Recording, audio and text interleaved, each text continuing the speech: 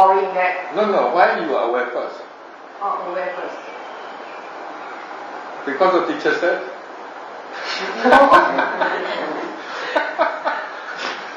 you don't have idea about what you're doing. You are just follow the instruction. You are using, not using about, you don't have idea about what you are aware. Why you are aware? Why you are aware? You don't have idea. That's why you become boring. And also, you cannot get what you want. It's also boring. People, ah, meditation object is not interesting, right? Sensation, what, how you interest? Hot, cold, hardness, softness. Normal people, they not how to be interested about this object. When they meditate, they start to interest me is they want, the first time they become calm down, they, then they become interested. Oh, nice. Because they also craving. They also think very calm down, feel good, and they start interest. This also lobha.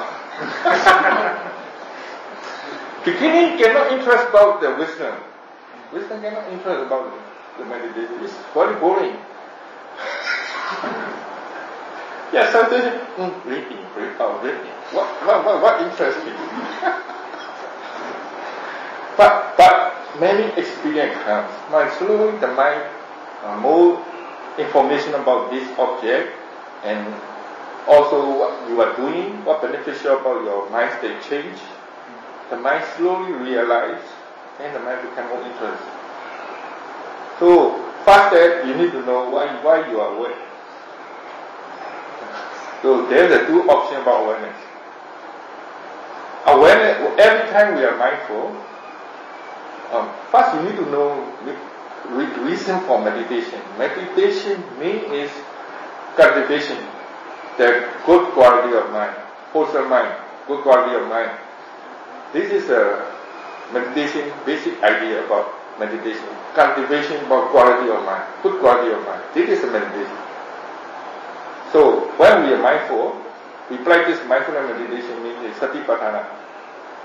Every time we are mindful, awareness, samadhi, effort, faith, and wisdom. This five ingredients. This is a wholesome quality. Right? They try to cultivate this quality of mind.